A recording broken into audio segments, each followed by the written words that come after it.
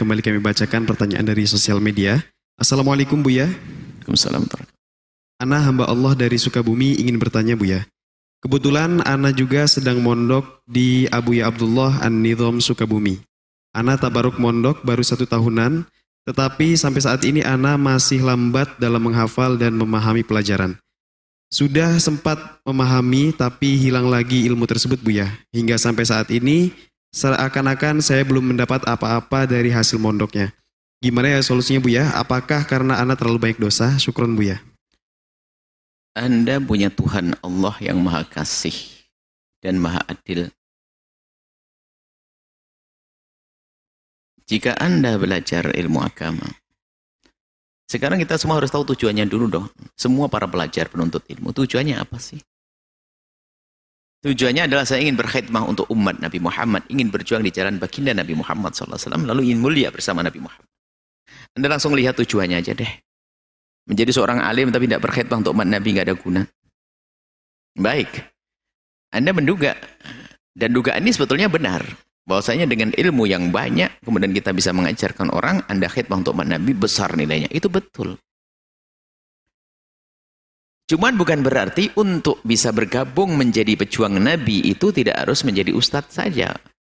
Wahai santri yang soleh. Anda mungkin tergolong orang yang hafal satu lupa dua. Oke. Okay. Susah ngafal. Tapi bukan berarti Anda harus gagal dong untuk menjadi pejuangnya Rasulullah. Anda bisa mengambil yang lainnya. Tapi setelah Anda uji, Anda buktikan kalau Anda ternyata tidak diberi Allah kemampuan dalam berpikir, itu bukan karena Allah tidak beri kelebihan kepada Anda. Karena Allah telah menyiapkan untuk Anda sesuatu yang mulia, nggak pakai belajar. Anda bisa berkhidmah kepada orang-orang mulia dengan tenaga Anda. Bisa jadi orang seperti itu lebih cekatan membantu. Maka ada di sana adalah dengan cara khidmah. Khidmah bukan menjadi budak. Khidmah itu khidmah untuk siapa? Untuk ulama. Bukan khidmah kepada orang kaya karena kekayaannya pejabat dengan jabatannya. Tidak, dengan ulama. Anda mengabdi kepada beliau. Nanti digiring bersama beliau. Jadi seperti itu artinya pada santri yang memang dia tidak mampu. Jangan semuanya tiba-tiba langsung ngomong tidak mampu, belum pernah belajar. Enggak begitu. Mencoba, mencoba, mencoba berarti apa? Anda telah disiapkan oleh Allah tempat yang mulia yaitu dengan mengabdi. Mengabdi bukan bukan sesuatu yang rendah, oh, jangan dianggap rendah. Dari mengabdi ini nanti, sebab cerita itu panjang, kita itu episode kita akan bersambung, bukan saja kita ada di cucu kita, ada di anak kita. Sehingga disebutkan kalau ada seorang Allah fi abdi makan akhi, ada seorang laki-laki yang hidup yang mengabdikan diri kepada ulama, dia tidak jadi ulama. Dia disifati sebagai orang bodoh, tapi ternyata Allah sayang. Muncul dari cucunya orang yang bakal menjadi orang alim yang akan bisa memberi syafaat kepada ayahnya. Jangan ragu itu. Memang saat ini sebagai seorang ahli khidmah kepada gurunya, nggak ada nilainya, nggak disebut ustadz, nggak ada ini. Ah, ketulusanmu dipandang oleh Allah.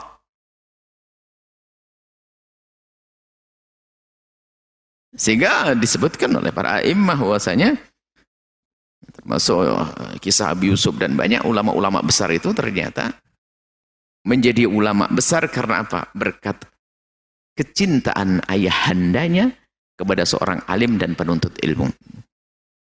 Sampai dikisahkan Abu Yusuf yang lain mengatakan bahasanya aku menjadi orang alim ini karena ayahku orang kaya. Apa urusannya? Bisa menyekolahkan ke Azhar, ke Azhar, ke Ahqaf, ke mana negara-negara luar? Oh bukan. Bisa mengirim ke tempat-tempat luar negeri. Bukan. Ayahku tuh orang kaya. Dan dengan kekayaannya beliau sangat mencintai penuntut ilmu. Jadi uangnya dihabiskan untuk menuntut ilmu. Oh gitu. Kalau sekarang kan enggak. Aku bisa begini, aku, aku orang orang tua aku kaya. Kenapa dengan kaya? Bisa berikan fasilitas kepada ngundang guru privat.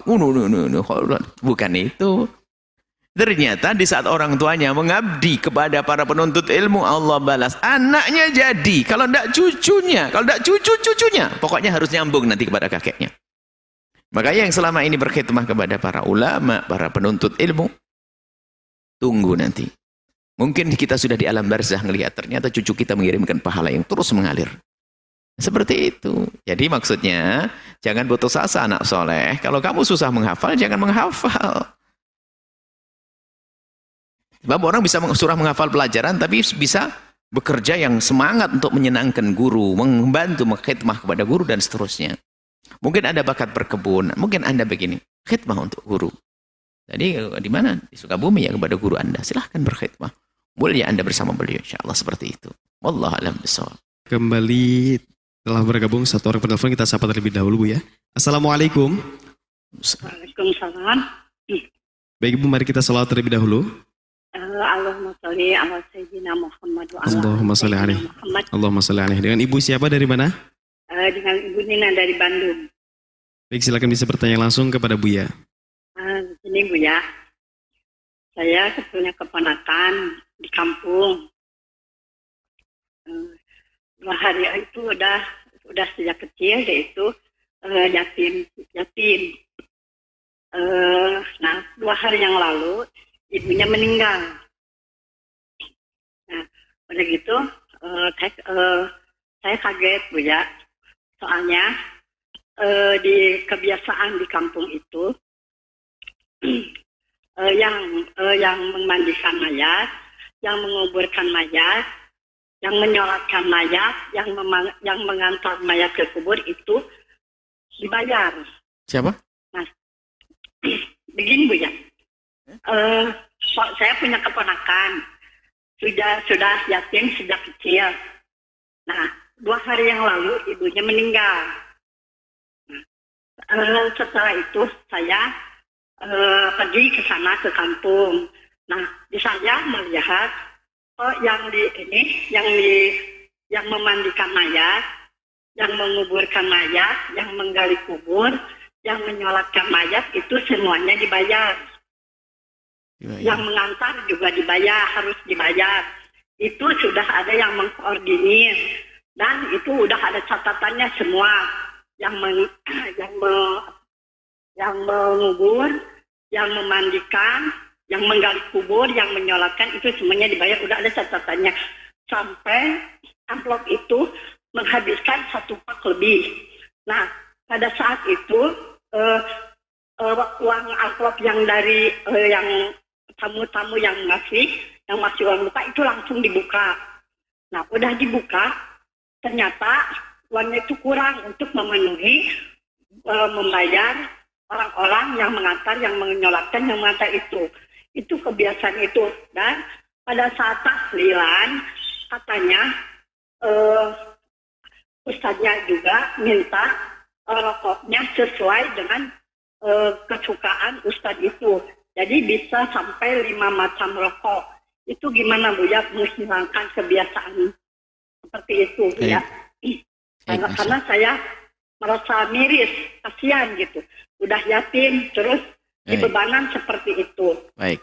Sampai ada orang yang datang itu langsung upload dibagikan ke yang tadi sampai ada orang datang menyusul ini kurang karena waktu dia eh, dia belum kebagian karena tadi dia ikut menyiramkan ke mayat katanya gitu. Saya miris ya, saya tidak tega melihat ponakan saya.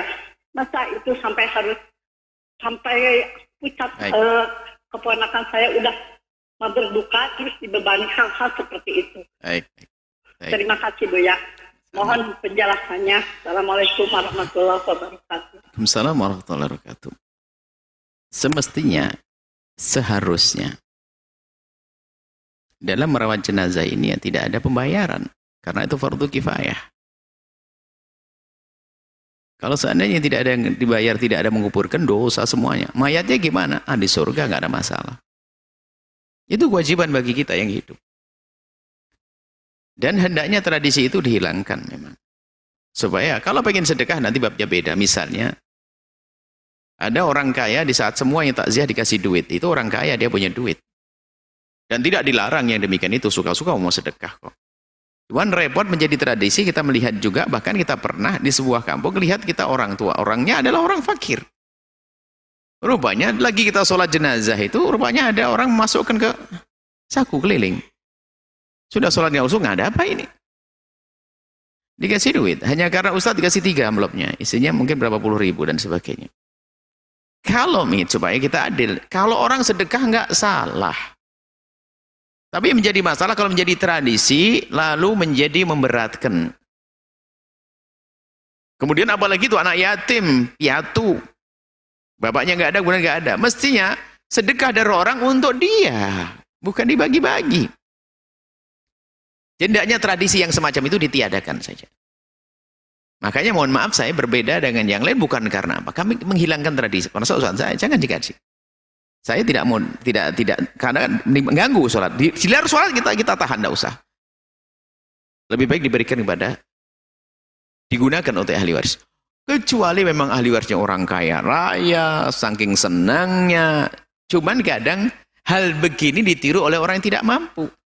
Sehingga memaksakan sendiri. Padahal pembayaran rumah sakitnya belum beres. Di sini ada kebiasaan harus. Sampai tadi, gara-gara kurang ditanya, minta lagi. Waduh kacau ini, ustadznya juga berantakan ini.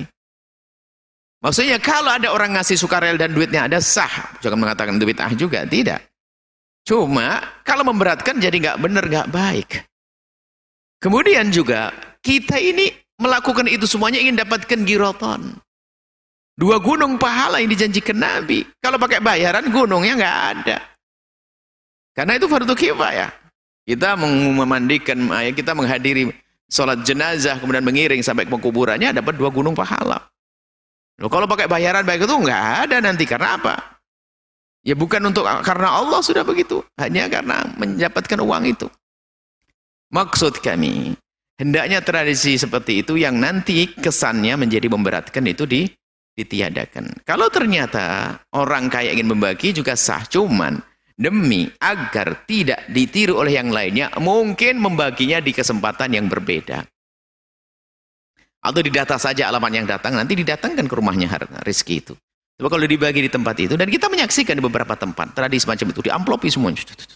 Jadi lagi sholat kan, lagi sholat itu tidak ikut sholat dia bagi duit dia.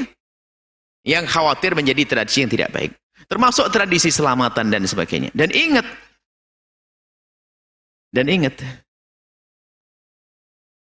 jika kita, ini pas pada ini ilmu fikihnya. Kalau kita ingin mengadakan selamatan untuk orang meninggal dunia, atau kita ingin memberikan sedekah. Itu ingat, yang biasa ngadain selamatan, itu tidak diperkenankan dari harta warisan. Harta yang ditinggal nggak boleh. Bukan harta warisan. Tapi harta dari pribadi saya sebagai seorang anak bersedekah untuk ibu saya. Sebab harta warisan milik orang banyak, milik keluarga ahli waris harus dibagi kecuali ahli waris semuanya menyetujui bahasanya boleh dipotong daripada harta ini untuk dibagikan. Itu pun yang bisa mengizinkan hanya ahli waris yang sudah balik. Kalau masih anak yatim nggak bisa mengizinkan. Kalau itu duitnya anak yatim dibagi-bagi, haram harus mengganti semuanya tadi itu katanya anak yatim. Kalau dia anak kecil belum bisa mengizinkan, haram nggak boleh. Hartanya dia, duitnya dia dibagi-bagi, yang bagi haram. Ini ilmunya. Semoga Allah menjaga kita semuanya, mengampuni semuanya. Allah alam bisawab.